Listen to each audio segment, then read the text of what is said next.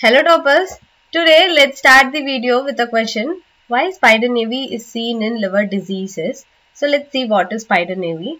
Spider naevi is nothing but a telangiectasia where there will be dilatation of the arteriole. So because of the dilatation of the arteriole we can see the capillaries branching out of it. You can see in the image clearly the central dot is indicating the arteriole and uh, because of the dilatation of the arteriole the capillaries surrounding around it are clearly seen because of the increased blood flow. This is how a normal arteriole and capillaries look like.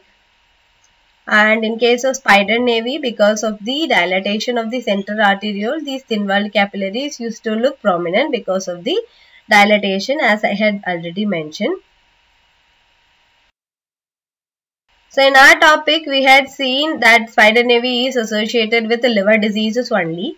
But the answer is there is not only liver association, there are few other diseases which are associated with the spider naevi. Those are rheumatoid arthritis and thyrotoxicosis where we can see spider naevi. Other, other than those conditions, in physiological condition also we can see spider naevi that is pregnancy.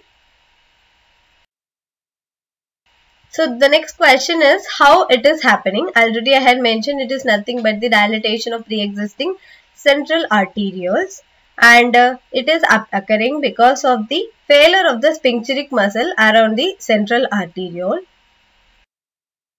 So the next question which comes in our mind is why sphincteric muscle failure is happening. Still now there is no clear-cut pathology why it is happening but there are few hypotheses indicating this sphincteric muscle failure. First one, direct vasodilatory effect of alcohol in case of alcoholic liver diseases. Then hyperestrogenism and inadequate hepatic metabolism of steroid hormones and these are all the proposed hypotheses which were causing the sphincteric muscle failure.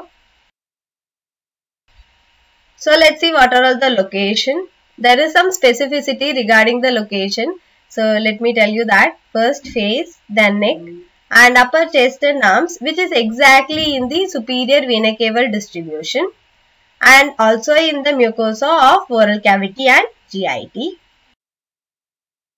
Thank you so much.